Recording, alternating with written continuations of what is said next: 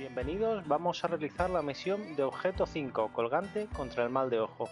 Recomiendo antes de ir a Lone Star y conseguir los tres engodos que nos darán los gatos, para que todo sea más fácil. Vamos a Quan nos equipamos las cañas de fondo con los alimentadores y los peces pútridos para tapar el catán vampiro.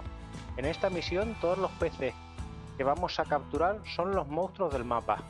Se capturan en las mismas ubicaciones y con los mismos cepos. Pescaremos por la noche, veréis que no uso engodo, pero si lo usáis será más fácil. El siguiente es en Everglade, el yete albino. Nos equipamos el cebo, ojo de cerdo y nuestro engodo del evento. Por último, el Nerrin, el catán monstruo de Nerrin. Han ayudado con el nombre. Con el cebo de ratones muertos y el engodo. Recalco que el engodo no es necesario, pero ayuda a que solo pique lo que tiene que picar, ya que el cebo puede llegar a costar en niveles bajos que no se tiene una economía fuerte.